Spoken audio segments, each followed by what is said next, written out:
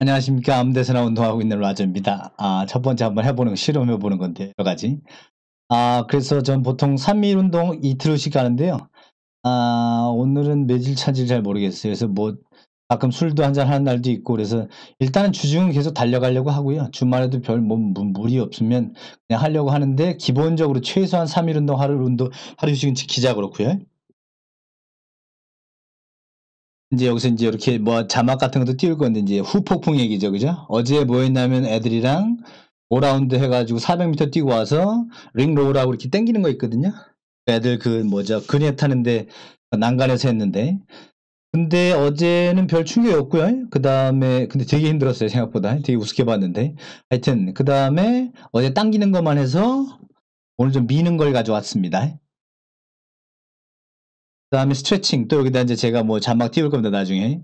스트레칭은 이제 다 위는 설명드릴 건데 제가 이제 tutorial이라고 그 종목별로 뭐 여러 가지 동작들별로 다 따로 설명해서 category를 나눠서 제 만들어 나갈 겁니다 유튜브를. 그다음에 뭐좀 이따 설명드릴 뭐 젖산 역치라든지 뭐 운동 기법이라든지 metabolic pathway 그래서 뭐 여러 가지 운동 관련된 과학도 많이 올려드릴 거고요.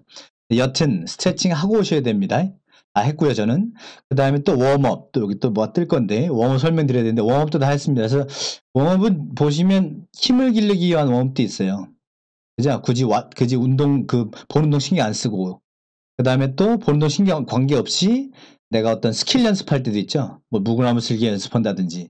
오늘은 좀 어, 워크아웃 자체가 20분짜리고 길고 약간 힘을 쓰는 거라서 요거만 맞춰서 했고요. 3라운드 늘 똑같이 3라운드 하거든요. 3라운드에서 요즘 덤벨 가지고 하는 거 있죠? 그죠? 어? 어.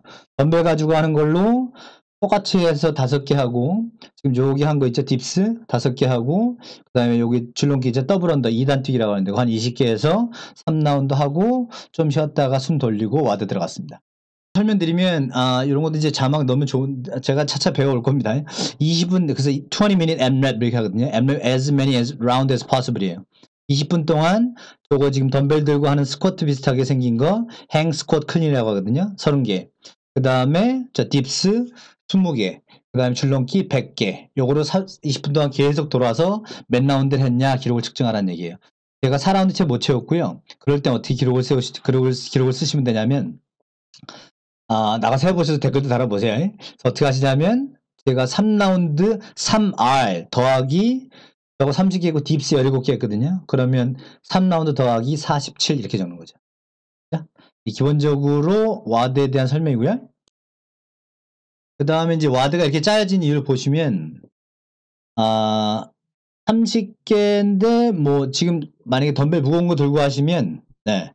그러니까 대부분 다 지금 여기 있죠. 이쪽 저 어려운 영어 안 쓸게요. 저, 저 겨드랑이 날개 죽지 뒤쪽에 여기 이제 소위 말해서 터는 거예요. 그래서 저도 지금 가벼운데 처음에 30개 하다가 시간 지나니까 점점 개수가 줄더만요. 한 번에 못하고. dips 가면 걔가 영향을 주죠. 네? dips 했고, 근데 올 때, 그럼 줄넘기 뭐냐? 근데 줄넘기가 보시면 이제 잘 생각해 보세요. 네. 지금 이거 줄넘기 방법도 나중에 tutorial 올려드리면 알려드리는데, 이게 손만 막 이렇게 쓰시는 분들은 이 전완이라고 해서 여기가 털릴 건데, 톡톡톡 터지는 분들이 여기 등이 털려요. 지금 나한테 지금 영향을 주는 거예요. 그죠? 그래서 이렇게 딴, 짠 거고. 또 하나 이제 그래서 운동 프로그램은 그런 측면이 있고요. 그 다음에 아, pathway, metabolic pathway라고 해서 운동 시간을 말씀드리면 10분 내 것들은 되게 폭발적이란 말입니다. 그러면 이제 폭발적인 힘이 좋아질 거 아니에요. 근데 뭐가 없습니까? 근지력이 줄죠. 지구력이 떨어지잖아. 근력을 쓰는 지구력이. 고통기 그런 게 보통 20분 쪽 요런 요런 운동이고요. 그 다음에 우리가 뭐 5km 같은 거 뛰면 지구력 훈련이라고 하죠. 그래서 그건 지금껏 그런 훈련입니다. 그죠? 근지구력 20분 내, 10분 위, 20분 아래. 그래서 전략을 보시면 저는 전략 짤 때 뭐야, 예, 저거 한 번에 다 할 줄 알았어요 이거. 그러니까 처음에 다 했습니다. 딥스는 뭐냐면 제가 좀 하긴 하는데 이건 필요가 빨리 오는 걸 알거든요 제가. 그래서 뭐냐 필요가 빨리 오기 때문에 저는 어떻게 했냐면 20개니까 아홉 개, 여섯 개, 다섯 개 이렇게 나눴어요. 그러니까 세 번 하실 때 만약에 제가 30개를 한다고 치면 10개, 10개, 10개 이렇게 나누지 마시고요. 12개, 10개, 8개 이렇게 나누세요. 그러니까 라운드별로 힘이 빠지니까 채울 거 아니야. 이런 목표를 세우고 가시라는 얘기야. 그래야 재밌어요. 운동이. 줄넘기는 제가 좀 하, 는 종목이라 한 번에 다 할 줄 알았는데 여지나 그래서 지금 하는 동작은 2라운드가 3라운드 지나면서 두 번에 끊어가기도 하고 세 번에 끊어가기도 하고 깁스는 지켜서 그죠 약속은 지켰고 줄넘기는 처음에 100개 하고 두 번째부터 60개, 40개 그죠? 그래서 내가 깨지면서 그래도 좀 그때마다 플랜 B 다음 전략으로 넘어가면서 지키는 그 맛이에요. 20분 금방 갑니다. 자, 이제 비례 축소 애기들입니다. 그래서 어떻게 했냐면 너무 고대도 운동이 고대도 애들이 운동을 싫어하는 애가 돼서 그래서 12분으로 줄였고요. 그죠? 그러면 10분은 넘어가잖아. 그 다음에 보시면 hang 있죠? 저거 저렇게 하시는 거예요.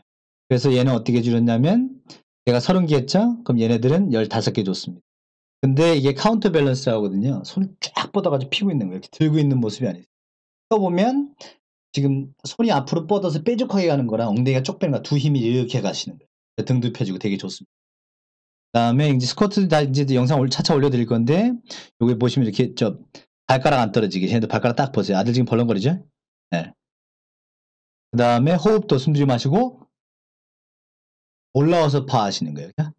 그래서 이건 하나 일단 보고 가시죠.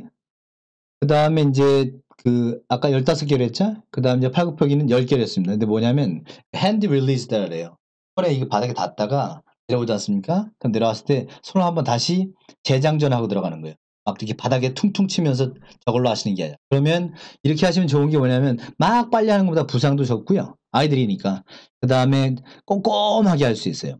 그 다음에 여기 지금 여자애 보시면요. 중간에 있는 여자애 보시면 허벅지 먼저 보세요. 허벅지. 이거 허벅지가 나중에 움직이죠. 저렇게 가시면 안 돼요. 허벅지 먼저 꽉 짠, 짠 다음에 그 다음 올라가시는 거예요. 어, 얘 아들이 좀 낫네요. 저, 요, 맨, 맨 가생에 있는 남자애. 그죠? 저기 허벅지 땅땅땅땅땅땅 해주셔야 돼. 그래서 12분에 아까 15개 했고, 이제 요거 10개 했죠? 그래서, 어, 그 다음에 이제 줄넘기는 뭐냐면, 되는 애들한테는, 뭐, 더블 언더로 50개 하라 그랬고요. 안 되는 애한테는 100개 하라 그랬고. 이제 저희가 제가 체, 체육할 때 똑같이 써먹었던 방법인데 뭐 아들이 100개 하고 너무 지쳐요. 너무 길고 지루하잖아. 그럼 얘가 이제 제가 warm-up 할 때 이제 줄넘기 할 때 있거든요. double under 하라고. 그럼 그때 이제 악착같이 연습하죠. 페널티 안 먹고 정식으로 하려고. 좀만 더 보시죠. 그 다음에 네, 다 본 것 같고 그 다음에 또 하나 보시면 아 하나만 더 말씀드릴게요. 어제 한번 찍어본 건데 운동 끝나고 쫙 뻗으세요 완전히. 쫙 뻗고 올라온 다음에 팔을 내리셔야 돼. 쫙 뻗는 거예요. 니마 가지 마 이런 식으로 그죠?